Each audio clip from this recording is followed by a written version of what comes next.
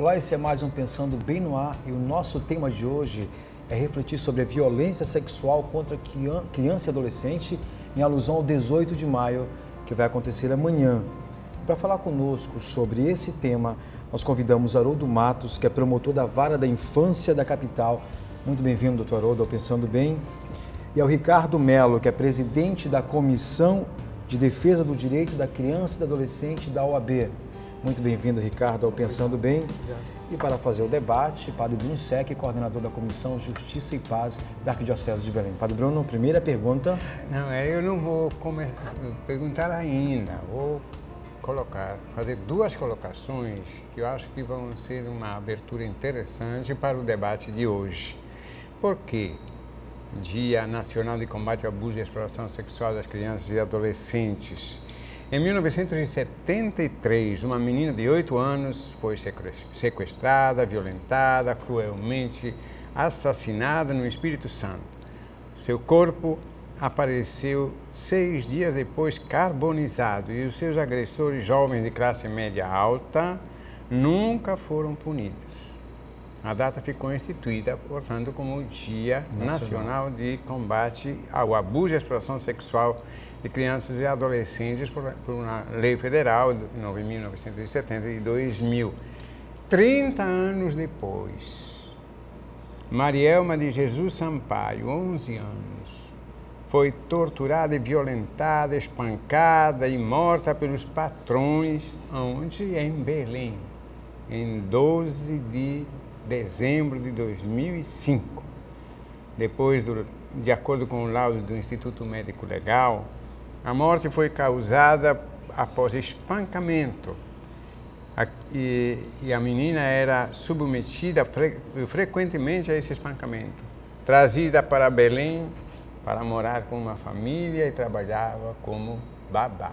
Padre Bruno, então. 30 anos depois. 30 anos depois, só lembrando que você pode participar do Pensando Bem, a partir de toda essa provocação que o Padre Bruno fez e também aos nossos convidados, através do 8802-3444. Você pode participar agora desse debate para a gente fazer uma reflexão sobre violência sexual contra criança e adolescente. Está aí na sua tela, 8802-3444. Pode, Bruno. Doutor Ricardo e doutor Haroldo, se fala muito em abuso e exploração sexual. São dois conceitos bastante distintos. Então vamos Vamos explicar melhor aos nossos telespectadores o que é abuso sexual e o que é exploração sexual, como os dois conceitos eh, se distinguem. Quer, quer... Posso? Bem, a exploração sexual, a pessoa que explora visa uma vantagem financeira, econômica. É, se aproveita da, da sexualidade da criança, do adolescente, para oferir vantagem econômica. O abuso sexual ele é uma modalidade mais ampla, né? Está inserido também é, os crimes contra a, a, a, satisfação própria da lascívia do, do, agente ou de outrem, né? Nós temos aí o estupro de vulnerável, né? Quando o abusador é, pratica atos sexuais ou diversos da condição carnal contra a criança ou adolescente menor de 14 anos. Nós temos o estupro propriamente dito e várias outras modalidades envolvendo a dignidade sexual da criança e do adolescente. Ricardo, é, qual é o perfil das vítimas que são mais atingidas por esses crimes, os crimes sexuais contra criança e adolescente? E se for possível também enfocar um pouco o nosso estado específico do Pará. É o que a gente consegue perceber é, são bastante crianças, muito jovens, muito de, de, baixa idade, que sofrem bastante esse tipo de violência. É, a gente fala no seio intrafamiliar, acontece muito dentro de casa, é, muitas crianças sofrem, também adolescentes, mais avançando a idade um pouco, mas bebês inclusive sofrem, sofrem, né? Quando a gente visita, por exemplo, espaços como Propaz, Santa Casa, que é um, espaço em Belém de referência para esse atendimento da violência sexual, a gente percebe muito né, crianças muito jovenzinhas sofrendo. E grande parte, extremamente, são homens que cometem a violência sexual. Isso também é um dado a se alertar. É, os agressores em grande parte, são pessoas conhecidas pelas vítimas? É, na verdade, é, a, a, violência praticada contra criança e adolescente no âmbito intrafamiliar, como o doutor mencionou, ele nos traz a figura paterna, padrasto, tio, avô, né, pessoas é, muito próximas da vítima, como também amigos íntimos. E vizinhos. Que visitam, vizinhos também, né? Então isso é uma, uma condição que tende a agravar o tipo penal, né? porque ao contrário de um abusador estranho, aquele que goza da simpatia, da autoridade da criança e do adolescente, goza de mais tranquilidade, digamos assim, para a prática sexual. E com certeza é uma prática sexual reiterada, porque na medida que o abusador é membro da família, aqueles abusos continuam sendo praticados até virem ser descobertos. Há uma série de modalidades de exploração sexual comercial de crianças e adolescentes no Brasil. Como ela se caracteriza? Parece que há todo um mapeamento, inclusive, que foi feito. Né? Eh, Ricardo, você pode explicar melhor isso? Como? Bom, de uns anos para cá, é todo um movimento de enfrentamento e combate né, essa, e, e que traz à luz do dia toda uma realidade que estava submersa, na verdade, mas que estava tão próxima da nossa realidade, da nossa, do nosso cotidiano até. Quer eh, esclarecer um pouco mais isso? É, a rede de, de exploração sexual é uma rede criminosa, uma rede ampla, que é um crime organizado, inclusive, e infelizmente tem baixo registro né, de ocorrências tanto no âmbito do conceito tutelar, do judiciário, das delegacias, da questão da exploração sexual mesmo. É o de mais difícil combate, vamos dizer assim, né? Mas o que a gente consegue perceber em termos de Brasil são é, é, ocorrências em locais de tráfico, tráfego de, de pessoas ou mercadorias, por exemplo, rodovias. Aqui no Pará, por exemplo, ou na Amazônia, a questão das bar dos barcos, dos navios que circulam. Né? Não à toa que o Marajós tem buscado uma atenção especial. Também as regiões de turismo, a litorânea, Nordeste, Sudeste. Infelizmente, na Copa do Mundo, na Olimpíada, a gente viu muitos casos de exploração sexual também. Né? Esse atrativo do turismo, infelizmente, atrai muito a questão da exploração sexual. E regiões de fronteira, né? que aí Brasil com outros países, não só de fronteira é, limítrofe, mas também de outros países para fora, inclusive Europa, Estados Unidos, que aí já repercute uma situação bem mais gravosa, que é a questão do tráfico de, de seres humanos. Nesse sentido, é, é, há um, um aquele tráfico internacional, mas também o, o, o tráfico interno, né? de Estado para Estado, no caso. Né? E, no Norte, a situação é, continua forte a situação do, nos garimpos, como já foi muito forte? Ou, ou, ou está se conseguindo é, equacionar um pouco essa situação que era terrível? É, não sei se o promotor pode colaborar, né, mas assim, não, não tem uma, uma análise assim, direta da atuação da mineração na, na atual perspectiva. Né. Há muitos registros da, da, da circulação nas estradas e, e pelos rios. Tem um histórico realmente no, no projeto de mineração. Né? Aqui, por exemplo, no Pará, a gente teve o fenômeno da Serra Pelada, de, de Belo Monte, agora recente, mas infelizmente a detectação, a coordenação ainda a gente espera ainda muito a se acontecer. Né? Bem, em lugares em que não há uma fiscalização, o poder do Estado não se faz presente, certamente lugares como esse a, a, possibilidade do, do, do, ato sexual contra criança e adolescente é bem mais presente, né? Aí a gente pode verificar nos garimpos justamente a exploração sexual, ou seja, atividade sexual como atividade econômica, né, para quem é, está explorando. É, acho que vocês falaram num aspecto que me parece extremamente importante, principalmente para a nossa região a implantação de grandes projetos e no entorno desses projetos é, se, cria um, se cria uma verdadeira favela em volta desses grandes projetos e são é, espaços onde é, fica evidente toda uma atividade, porque são, é, são é, conjuntos humanos masculinos que, vem, que são chamados para esses grandes projetos e, evidentemente, toda a exploração sexual no entorno desses grandes projetos se torna extremamente, extremamente visível. Não é? é, é essa sua afirmação vem justamente ao encontro do que eu havia mencionado. Né? Então, em situações em que há uma, um aglomeramento de pessoas, é, o Estado não se faz presente efetivamente, certamente há, é, há um favorecimento para diversos crimes contra a criança e adolescente, como também outras modalidades criminosas. Né? Quer comentar um pouco é, essa sim, situação, sim, é, principalmente na nossa região?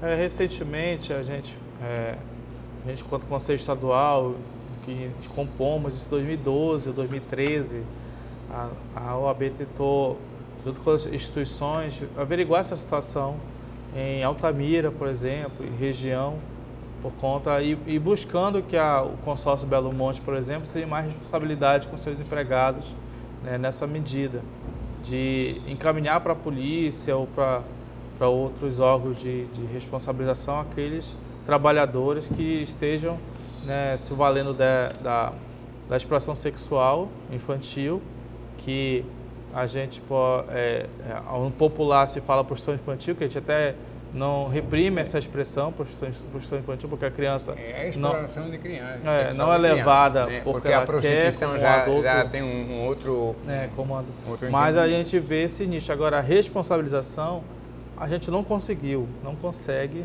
né? Como eu falei assim a da exploração sexual ainda é muito difícil dessa responsabilização em nível de redes. Tem uma pergunta aqui para o doutor, doutor Haroldo é Boa noite, a Maridilza Terrafim. Muito obrigado pela pergunta, Maridilza. Boa noite. Vocês que é, como é que fazem para combater o abuso de exploração sexual de adolescentes no interior? A pergunta dela é essa. Como é que faz para fazer isso no é. interior, que é onde os serviços são mais limitados, a presença é. do Estado é mais modesta? Exato. A, a, gente conta, na verdade, com situações em que a própria população denuncia, né? eventualmente uma situação flagrancial, né? ou então quando os centros comunitários estão mais engajados na problemática é, social e consegue através de trabalhos comunitários, de justamente de alertar o tema né, com a, a comunidade, a necessidade de, de, denunciar. Aqui na capital nós temos um, um, aparelhamento um pouco diferente, mas no interior, como foi bem é, pontuado, a, a dificuldade é bem maior.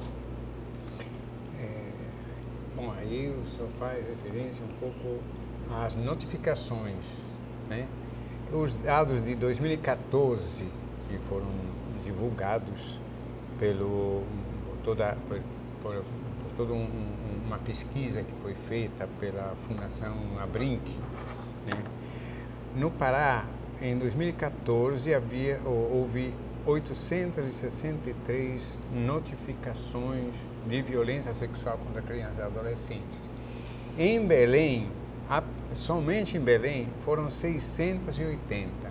Isto é, as notificações no interior são muito mais, poderíamos dizer, mais raras. A subnotificação é muito grande. É, o que acontece é que esse tipo de crime ele é, ele é cometido na clandestinidade. Ao contrário, por exemplo, de um crime de roubo, em que as pessoas hoje estão assaltando todo mundo aí à luz do dia. O crime contra a dignidade sexual de criança e adolescente, ele geralmente é cometido entre quatro paredes, sem testemunha. A vítima geralmente é uma criança que depende economicamente é, do abusador. A criança ou adolescente tem é, uma relação de parentesco muito próximo com o abusador, ou então é um, é um amigo íntimo da família. Né? Então, é, ela sendo ameaçada, sendo oprimida a revelar os fatos, ela acaba se silenciando. Né? Então, há necessidade de ser realizado um trabalho junto à comunidade, e é o que o Ministério já tem feito ao, ao longo de três anos, através de, de é, explanações nas escolas, do, do município e do estado aqui na capital, e a gente vem tentando esclarecer o tema. Tem uma pergunta aqui rapidinho, tem dois minutos, Ricardo. O Antônio Carlos faz a seguinte pergunta: é, por que, que, o poder público é tolerante é, e ineficiente, até conivente com programação televisiva é, e músicas que promovam a exploração sexual, assim como apologia para tal?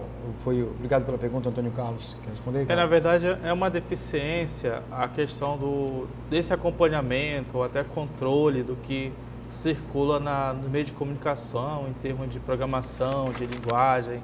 É porque há todo um debate sobre é, liberdade de expressão. E aí o, o, os meios de comunicação se ressentem dessa situação, né?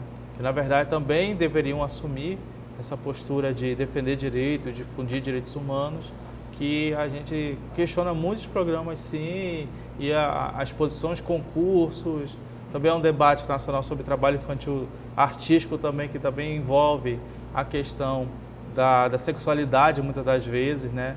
E, e aí é, é, que se refletir e ver instrumento realmente de acompanhar e como pressionar a opinião pública, a mídia a ter tá uma certo. outra postura. Nós temos, nós temos, infelizmente, o nosso tempo nesse primeiro bloco já encerrou, mas aí no segundo bloco a gente vai aprofundar alguma dessas é, questões. Principalmente todas. nos fatores que favorecem mais esse tipo de crime.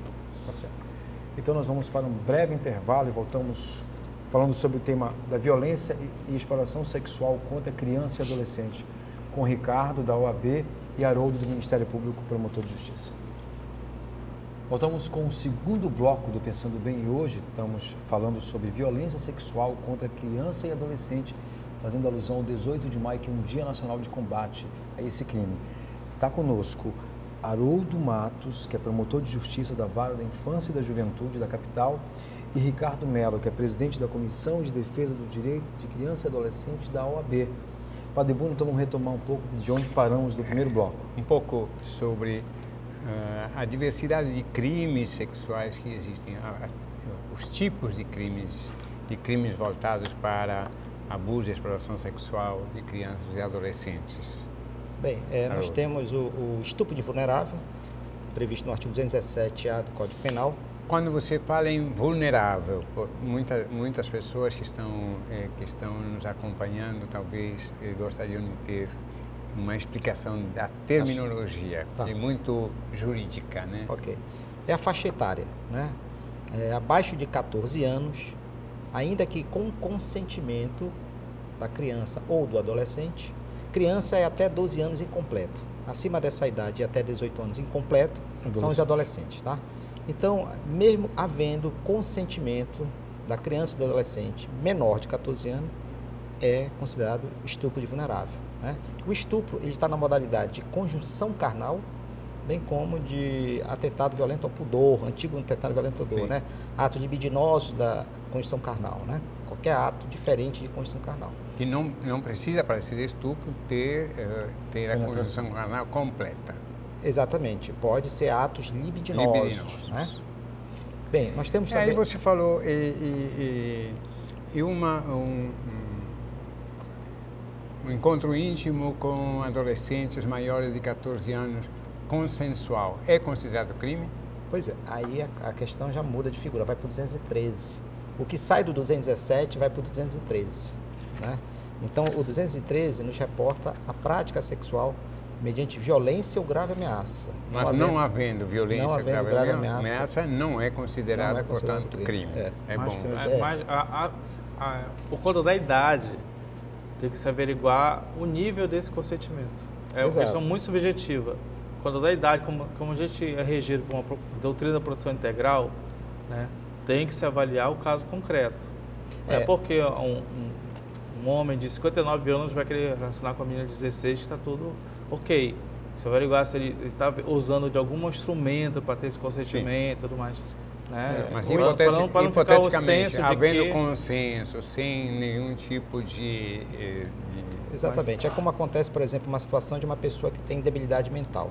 Aí, né? Aí a gente é não pode, mesmo com Inclusive, a idade... tem uma nova lei, né? a nova lei dos crimes. Independentemente da idade. Tem então, a nova é, lei dos crimes sexuais. Isso, a, a questão da idade acima dos 14 anos, é de uma maneira geral, né? como o doutor observou, e eu também faço algumas ponderações, existem situações diferenciada para cada é, Existe caso. a nova lei de crimes sexuais de 2009, se não estou enganado, que caracteriza muito bem isso. Tanto é verdade, aí tem o, o tem o, o, o artigo 218b, parágrafo 2 quem pratica conjunção carnal com ou outro ato libidinoso com alguém menor de 18 anos maior de 14 anos, na situação descrita no caput, que quer dizer subtrair, induzir ou atrair a prostituição ou outra forma de exploração alguém menor de 18 anos ou que por enfermidade ou deficiência mental não tem o necessário discernimento. Então, não, eh, não havendo isso, então não se caracteriza como crime. Mas outra tipologia. Tem o, o é, favorecimento da prostituição, né? temos também o assédio sexual, né? temos a, a, satisfação da lascívia mediante a presença de terceiro, né? ou seja, a pessoa se sente satisfeito né? em ter uma terceira pessoa assistindo a prática sexual de uma criança ou adolescente é, corrupção de menores, né? e, e, aí vai. Eu quero que você, Ricardo, comente um, um caso, um caos. Né? É, uma decisão do Superior Tribunal de Justiça, STJ, divulgada em 22 de março de 2012, chocou não apenas o âmbito jurídico, mas também todos os demais cidadãos que souberam sobre tal deliberação é, esta decisão inocentou um acusado de estuprar três meninas de 12 anos que se prostituíam. Tal decisão foi tomada levando-se em consideração que, aspas, as vítimas à época dos fatos, lamentavelmente, já estavam longe de serem inocentes, ingênuas, inconscientes, ou desinformadas a respeito do sexo. Palavras próprio, da própria relatora do caso. Ela leva os leitores da decisão a concluírem que as meninas devem continuar aonde estão, pois este seria, em tese, o destino que caberia a elas.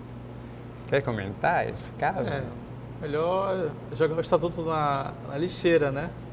Joga ah, o estatuto na lixeira. Lixeira, a Constituição Federal também pode amarrar junto e por conta de toda essa conquista democrática e cidadã que a, a, a sociedade brasileira conquistou a partir da ditadura militar, 88, 1989 com a Convenção Internacional de Direito da Criança e Adolescente, 1990 com o Estatuto, que há toda uma, uma promoção dos direitos, que primeiro se promove os direitos para depois se proteger.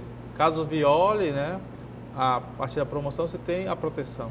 E nisso, infelizmente, o, STJ seguiu esse entendimento que o nosso nossa compreensão foi totalmente equivocado, fora do que ah, os preceitos internacionais e nacionais do dia que adolescente preconizam. E aí só lamento realmente tal decisão, tal encaminhamento, né, quando na verdade tinha que se lá condenar, na verdade, os, os, os primeiros violadores dessa exploração sexual, dessa encaminhamento para a prostituição, que, e não é, é, de, de, de é, absolver, absolver essa pessoa Tem e uma... também quem explora. Né? Obrigado. Tem uma questão aqui, Rosa do Goma, muito obrigado pela pergunta, Rosa. Diz o seguinte, se a família da criança não é questionada sobre o ocorrido, por que muitas das vezes deixa essa criança sozinha? Ela pergunta, depois diz assim, em muitos casos, a família faz de conta que não sabe, por causa da miséria. Ela fala um, faz um pouco essas considerações aqui. Ou até por causa do, do, do escândalo, de não expor a criança, uma Isso. série de coisas, né? Muito obrigado pela pergunta, O que é que... É. Ah, tem também a questão da dependência econômica, né? Como eu mencionei há pouco também, às vezes o abusador, quando sendo o provedor da família, é quem fornece alimentação para essa família, imaginando que numa eventual prática sexual e que ele venha a ser condenado, aquela situação daquela família pode ficar desfavorecida. Então, às vezes, a família se cala, né? E aí a gente tem uma situação é, é, preocupante, porque aí os abusos passam a ser reiterados. E mesmo quando é comprovado esse abuso, às vezes se tira a criança do meio, quando na verdade deveria ser o contrário, ou não? Deveria ser tirado o agressor do meio. Não, mas tem se feito dessa maneira. Tem, temos feito dessa maneira, pelo menos na vara de crimes contra a criança. É, são medidas aplicadas imediatamente contra o agressor, né? E que se de repente o agressor, como eu falei, for pai, padrasto, for pai, mãe, né, o, avô, é, é, é permitido até a destruição do poder familiar. Vai mais longe ainda, né? Porque não se admite que o pai venha abusar sexualmente da sua filha.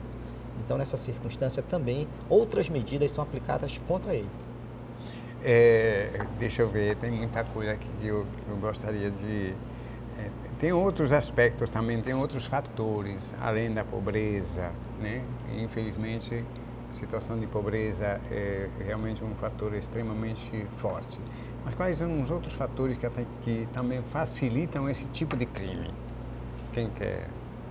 É, eu creio que maior orientação para a própria família, né, que a família às vezes não não teve educação também apropriada para gerir essas relações é, é, é relações intrafamiliares, a própria cultura mesmo do superioridade, superioridade, superioridade masculina, né, de ser dono da, da outra pessoa, de se, né, e aí também a questão do envolvimento das escolas, né, nessa orientação, nessa educação, por exemplo, no material que a OAB faz desde o ano passado e está repetindo esse ano, é ensinar a criança a, a dizer não a certas carícias, a certas malícias que possam acontecer, inclusive em qualquer relação, né, ou na escola, ou em casa, ou qualquer relação da comunidade que ela tenha. É, é realmente ensinar ou passar ensinamento de como se proteger mesmo. Algumas orientações práticas, a, né? O material está aí, depois a gente pode... Há questões também referentes à etnia, que facilitam essa. É, bom, é, pobreza, pobreza. Não, não, o que a gente etnia... tem é, o levantamento socioeconômico das vítimas, então, como é o perfil? É, o que a gente também tem observado é que em alguns casos o abusador já foi abusado. Ele replica essa ação, né? Então, numa, numa, em algum momento da vida dele, sofreu o abuso e ele vem a praticar também essa situação. O que torna uma situação muito grave, porque a época que ele foi abusado, certamente o abusador não foi punido. E quando o adulto vem a praticar o ato e ele passa a ser o, é, o vilão. Não vê pessoa... aquilo como algo que viola, é natural, uma reprodução. Natural, né? É, exatamente. Gênero, etnia, cultura, a erotização na mídia. Isso, é, a erotização exacerbada isso pode ser um fator que, que contribui para isso? É, esse despertar da sexualidade muito precocemente né, é, pode trazer aos olhos de um adulto aquela, aquela satisfação de ter a criança ou adolescente como objeto de, uma, de um ato sexual. Aí eu quero, eu quero me deter um pouco num aspecto. É muito comum, me parece, não sei se, se estou enganado, que há uma tendência de, eh, de, eh, de tornar a vítima, de transformar a vítima em ré. Isto é, ela anda vestida com, com um short muito curto e ela que, então, que provoca. acaba ela, ela que provoca então eh, em vez de, eh, de garantir que ela realmente é vítima e, quem, e, e, e que o agressor, ela se torna uma provocadora. Isso é comum, né? no entendimento comum? É, eu até lembrei agora, a, não é aqui o AB do Pará, mas outra, seccional, está com a campanha de, de a advogada ser respeitada independentemente da roupa que ela use. É, eu creio que a OAB do Amazonas está fazendo essa campanha eu creio que é, uma campanha nacional também vai se ampliar. E, como eu falei, a figura feminina ainda é tida como uma figura de inferioridade. Então, aquela mulher, aquela uma concepção menina... bem machista mesmo, é, de leitura da realidade. Isso, é uma, é, um, é, um, é uma pessoa, um objeto que eu possa lá facilmente ter acesso. Nada que meninos também estejam sofrendo abuso ou sendo violados, né? É, Mas... a menina já não era mais nada. É. É, na verdade, o que a gente observa é que essa concepção eles são de algumas pessoas, né? A gente não pode imaginar que a sociedade toda esteja contaminada por um vício de machismo, um vício de Mas a nossa sociedade não deixa de ser machista. certo, mas- Estruturalmente, mas funcionalmente machista, né? Sim, mas a, né, partindo desse machismo para a prática sexual, a gente tem uma, um- um- uma distância muito grande, né? Porque senão a gente vai rotular que todo machista é, é, tem, Claro. tem, é, é, é, vontade de praticar atos sexuais contra criança e adolescente. E não é por aí, né? Tanto que existe a vara de violência doméstica, e que nesse É. caso o machismo dele se revela em relação a uma violência contra a Mas a mulher, gente violência física. Faz-se referência a um agravante, de, um agravante dessa postura, que é uma relação de poder. A Sim. mulher pode. O machista se utiliza nesse sentido, entendeu? Sim, Uma aí- modalidade específica. É, pra mas eu, eu volto a fim. dizer, e que nem todos os, eh, todas as pessoas do sexo masculino sejam machistas, né? No do Brasil, ma- talvez é, 80% ou é, mais. a questão do machismo vem da concepção cultural, né? É, é muito comum... Que é uma isso- cultura patriarcal que a gente absorveu, é, infelizmente, no nosso infelizmente, país. existem é, famílias que são mantidas pela mulher. né? E aí onde está o machismo, né? Então há necessidade realmente de se modificar essa concepção. E, Não, mas qual é a referência da, da família que é gerida pela mulher e do machismo? Eu não entendi a relação. Não, porque geralmente o machista é aquele que manda, né? que usa do seu poder de homem, né? que vai abusar sexualmente da criança, do adolescente, que vai agredir fisicamente a mulher, a, a filha. Né? Então há necessidade de se, de- de se estabelecer parâmetros em relação a essa condição machista, né? porque numa sociedade é, é, atual, como eu mencionei, muitas mulheres são chefes de família. Né? Ricardo. Não, é, pois. É aí que a gente tem que ver de forma ampla, claro, por meio de parâmetros ou diagnósticos, é como repassar essa orientação realmente de forma é, é, qualificada para as pessoas, né? Como que pode se, se detectar uma pessoa que está sendo vítima de, de, de, de abusos mesmo, né? Que pode chegar à questão da sexualidade. É, hoje, por exemplo, compartilhar um vídeo na internet, no WhatsApp, que é muito fácil, também é uma forma de violência sexual. Né? Acha, pessoas acham ah, legal aqui, tá, a menina tá dançando, tá, tá se expondo, ou mesmo fazendo. Né? Por exemplo, eu lamentei uma cena recente do Silvio Santos, a gente pode falar, né? Sim, sim. Perguntando se, se a Maísa casaria com ele. A Maísa cresceu, hoje está com 14 anos. E a Maí- Maísa também, acho que na produção, não sei o quê, falou que não cas- não casaria com você, Não sei se todo mundo sabe, Maísa eh, foi uma garota que foi caloura Sim, do programa do atriz, Raul né? Gil, Uma atriz. quando né? criança ainda, e hoje está uma adolescente. Tá, Tá, 14 anos. Ela respondeu que Grande. não, porque ele era muito velho para ela. Mas esse tipo de, de relação, né, um, um, né, expor na, na mídia, isso que a gente tem que pensar realmente. Será que é um momento apro- apropriado de fazer certas né, brincadeirinhas, sei o quê? E isso replica, replica. Se um programa televisivo expõe, se alguém que, que é referência na, na, na, na soci- na sociedade, alguém muito famoso, precisa também repassar isso, né? Isso também a gente tem tentado, por exemplo, nos clubes de futebol, aqui, né, os clubes têm replicado também essa campanha contra a violência sexual. O Remo fez a E divulgação. no último jogo agora foi também a questão da diversidade. Diversidade, né? né? Que você, você, Não, não. e- e- esse, esse, esse, é, é, é, essa responsabilidade social que também te espera. Está sendo despertado também, né? Porque nem é um, inclusive, seja o futebol é um ambiente obrigatoriamente. extremamente machista, é. né? Inclusive, é, é, Sexista. própria violência sexual está incorrida no próprias escolinhas de futebol É, também. meninos que são levados para o sul do país, Tráfico, aqui, né, tráfico, pessoas. eh, para serem, para eh, entrar em, escol, em escolinhas de futebol Isso. e tudo. Já há casos bastante frequentes de E nós vamos aprofundar isso no terceiro bloco. No terceiro Já? bloco nós vamos falar de, já. No terceiro bloco vamos falar de alguns exemplos também de, de trabalhos positivos, tanto da OAB quanto do Ministério Público, para você conhecer também de que forma a gente combate esse mal. Então voltamos com o terceiro e último bloco do Pensando Bem, vamos para um breve intervalo, lembrando que você pode participar via WhatsApp através do 8802 3444. Manda pergunta para a gente aqui para falar um pouco, discutir melhor sobre esse tema com a sua participação. Esse é o terceiro e último bloco do Pensando Bem, que fala sobre a violência sexual contra criança e adolescente, fazendo referência ao 18 de maio, que é o Dia Nacional de Combate a esse tipo de crime. E a gente vai retomar um pouquinho com algumas experiências de trabalho, tanto da OAB quanto do Ministério Público, né, Padre Bruno? É, então eh, vamos dedicar essa, essa última parte para eh, vermos um pouco que instrumentos estão sendo usados, que, o que trabalho está sendo desenvolvido no sentido do enfrentamento.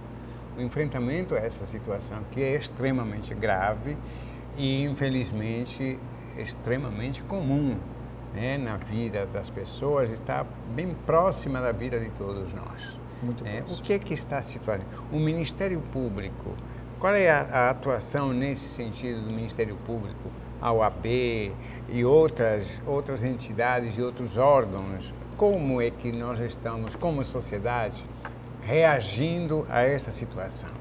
Bem, o Ministério Público eh, possui um trabalho junto às escolas estaduais e municipais da capital, no sentido de promover orientações, palestras junto ao corpo docente discente, né, mostrando a, a, a tipificação penal de uma maneira mais lúdica, mais clara, né, e eh, promovendo junto a essas escolas eh, que os professores realizem trabalhos lúdicos, trabalhos eh, junto às crianças, para que eventualmente elas possam, através de uma redação, de um trabalho de casa, eh, relatar alguma situação de abuso. E quando essa situação é relatada, aí entra imediatamente uma rede em que o Ministério Público encabeça, né, eh, levando conceito tutelar, propaz, eh, psicólogos, assistentes sociais, para que consiga alcançar a veracidade daquele indício de prática sexual abusiva. Por sinal, por, sinal quando eh, se trata de um ou de um médico, de um de um agente de saúde ou de um professor né, que percebe eh, que tem alguma suspeita ou até de uma confirmação de maus tratos de crianças e adolescentes nessa área ou qualquer maus tratos, ele é obrigado. Tanto é verdade que o Estatuto tem medidas eh, administrativas que, obri que para quem tem conhecimento e, e não denuncia... Não pode se omitir, né? Não pode se omitir. Quem, É, na verdade, cada vez mais a- os profissionais de saúde estão colocados para averiguar essa situação, inclusive odontólogos também, dentistas, é, por conta da situação bu- bucal, né? É, perceber essa violência. É, a- também outros profissionais médicos acompanham crianças, os pediatras em si, mas outras especialidades também. é, na área É, da saúde, mais e é. da educação. né, Isso, educação principalmente. perceber um, um distanciamento da criança, um, um estranhamento, a falta de contato, a baixa autoestima, que os professores percebem o dia a dia das crianças né? da, e dos adolescentes. E aí é sempre bom informar a direção da escola, o contato com o Conselho Tutelar também. O Conselho Tutelar pode acompanhar a Eu rotina diria, das é bom, escolas. é, mais do que bom, ele é obrigado. né? É obrigado pela função. Sim, sim. Né? Em caso de qualquer omissão, como o Francisco falou, violação mesmo, né, também cabe é, ser representado esse profissional que não age né, com essa garantia do direito da criança e adolescente, porque eles convivem, eles trabalham diretamente com criança e adolescente. né? Aqui tem uma pergunta do Elt e da Rose, que é um casal lá da, da Terra Firme. Faz o seguinte: qual é a ação que o Ministério Público faz em parceria com a sociedade civil para combater esse mal? Aproveitar para mandar um abraço para o Elt e para a Rose, que faz aniversário também, aqui para a mensagem de parabéns, Rose. É, o doutor Haroldo já estava falando um pouco disso, é bom Sobre essa é, parceria da detalhar sociedade civil, além da- das escolas, tem outra atividade? É, na verdade, a escola foi eleita porque ela é o segundo lar de muitas crianças, né? É com o professor que ela se identifica, é para quem ele chama de tio e tia. Então, aquela pessoa que ela tem mais prox- confiança, né? confiança, tem mais proximidade de realmente relatar os fatos. É, existem trabalhos do Ministério Público, que é o Ministério Público à Comunidade, né? que periodicamente é, é efetivado é, junto às comunidades, né? com orientações jurídicas, né? Mas o que a promotoria da infância vem fazendo efetivamente é junto às escolas mesmo. As escolas, ótimo. Acho que um destaque importante também nesses anos é que aqui, por meio do Comitê de Enfrentamento à Violência Sexual, a gente elaborou um plano que te- teve validade de 2014 a 2016, né, que tivemos várias representações, né, o Ministério Público, o TJ, Secretaria de Assistência Social, nós da OAB, e elaboramos algumas metas nesses dois anos. Infelizmente, algumas metas não foram cumpridas, Por que é quê? de prevenção, de comunicação social, falta de investimento público, basicamente isso. Né? Será que caímos também nesse aspecto, naquela aquela, eh, situação tão comum né, de falta de políticas públicas? Falta de política, falta de interesse público também. Interesse Grande- político, na verdade. Interesse Poli- político político, de e também que a sociedade civil tivesse mais fortalecida para poder também atuar, fiscalizar e, e exigir que houvesse esse, esse, esse cumprimento do plano, um plano curto de dois anos, de fato, e mais foram elencadas muitas ações interessantes lá. O problema foi pensaram a- a- as metas, mas não se efetivaram as metas.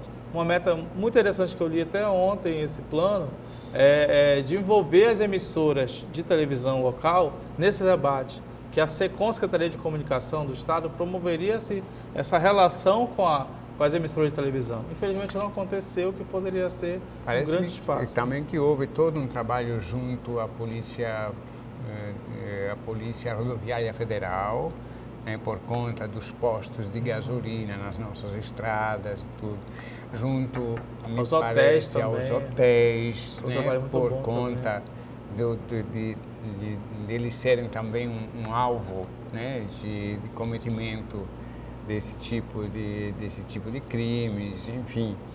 É, mas uma coisa sempre que me toca muito é o nível de responsabilização.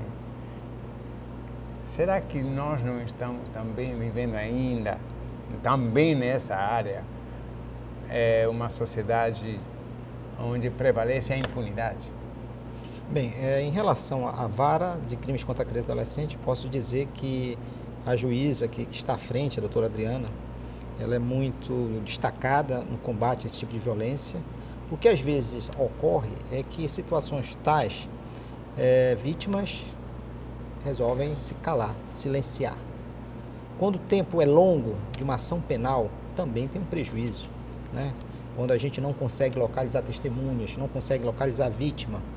Então, a tese ministerial inicial começa a se fragilizar.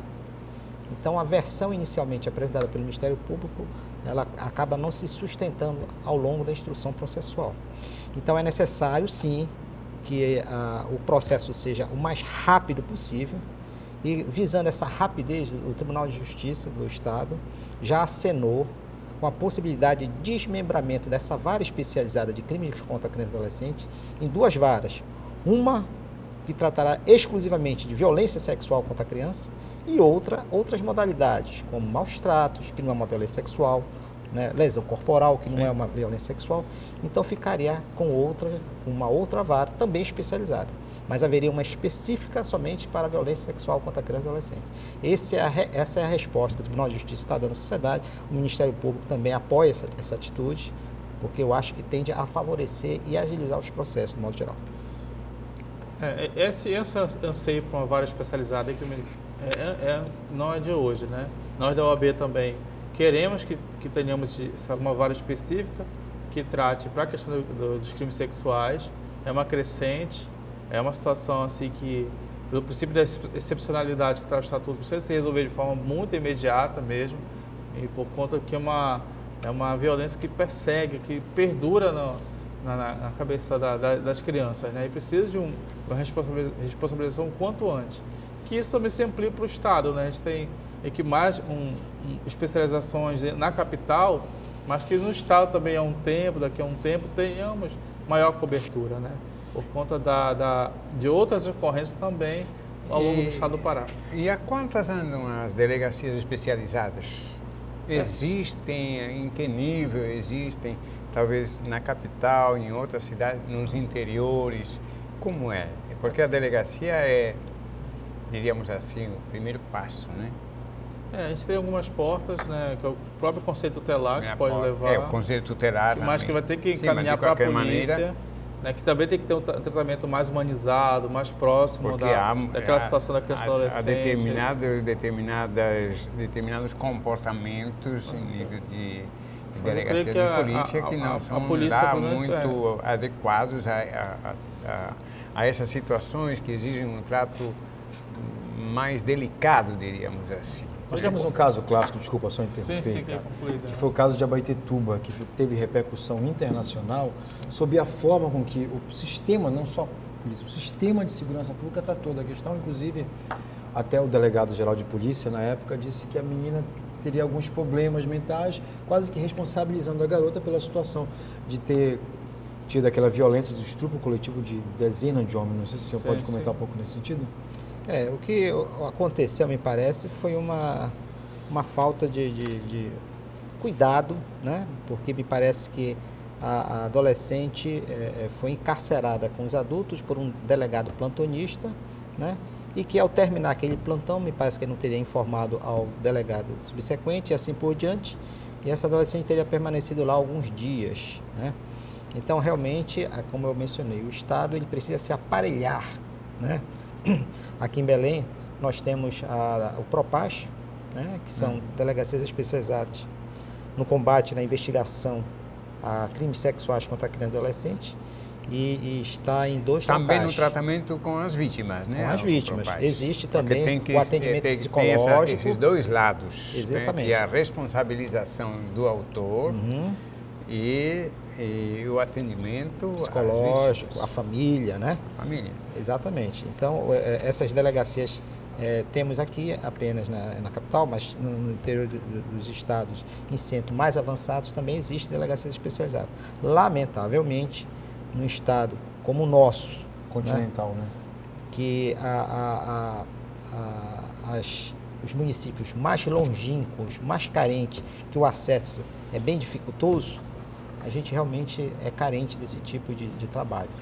Um, um, um, aspecto que eu gostaria de, de colocar e que é bom até para explicar para os nossos telespectadores é que os crimes sexuais contra crianças e adolescentes são crimes de ação pública incondicionada. Que, o que quer dizer isso? Eh, precisamos, é, para o entendimento mais de uma pessoa, das pessoas que talvez não tenham muito muito acesso a essa, a essa terminologia muito jurídica. Nós temos cinco minutinhos, né? pode já responder e também fazer algumas considerações. Bem, como ação penal, em parte, é do Ministério Público, eu falaria a respeito. Né? Sim, ação claro. penal ela pode ser pública ou privada. Né?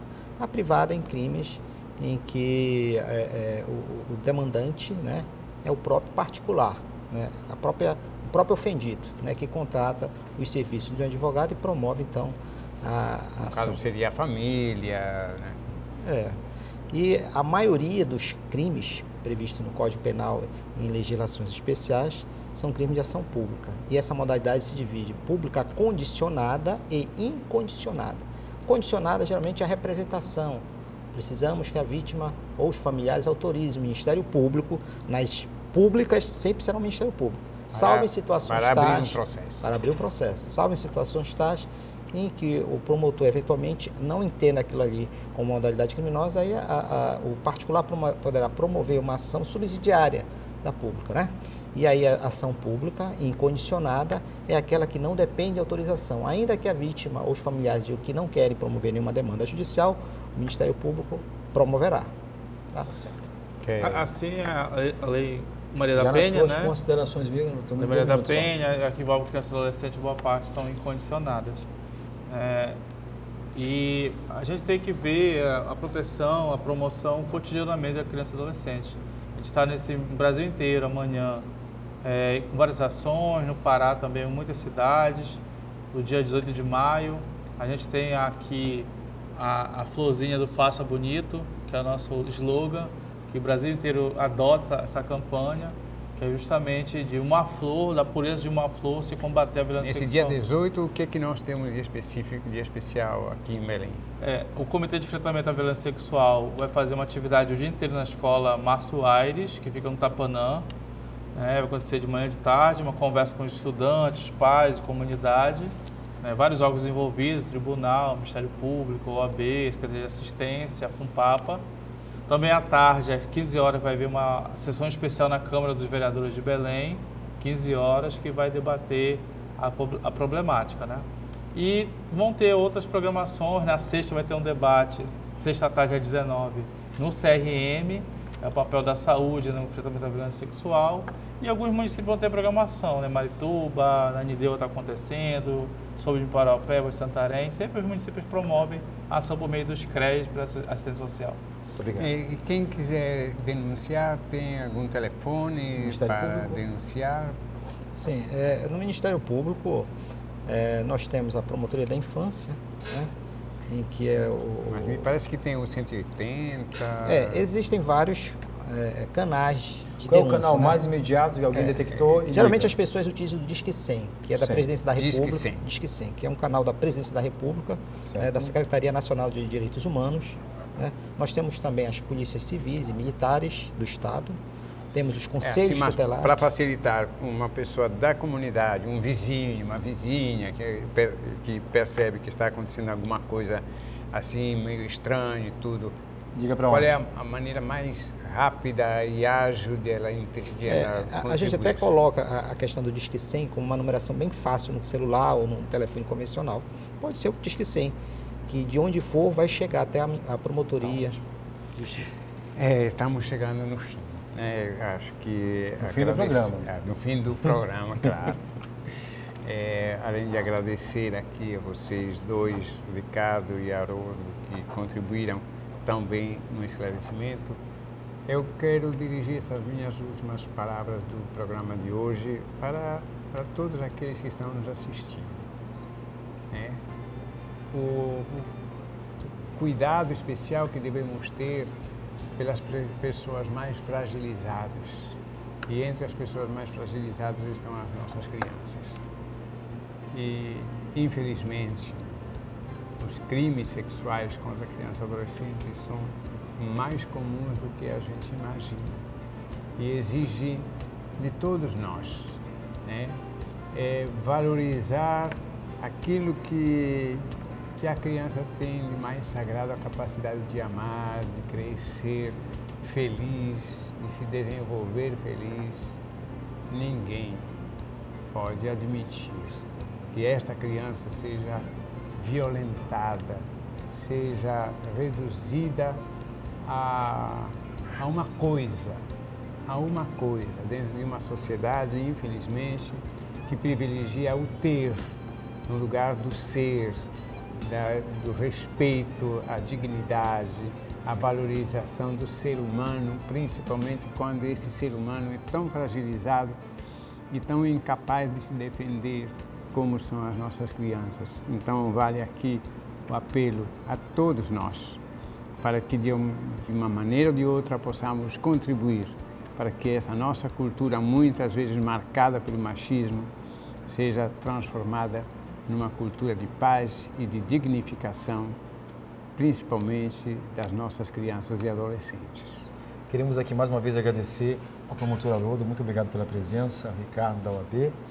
Infelizmente, Cleiton e Klinger, suas perguntas não serão respondidas, hoje vamos passar aos nossos, aos nossos convidados aqui para responder as questões de vocês. Queremos agradecer a Antônio Carlos, a Maridilza, a Rosa, a Rose, o Elt e todos aqueles que participaram do Pensando Bem. Nós aguardamos vocês até o próximo programa. Muito obrigado.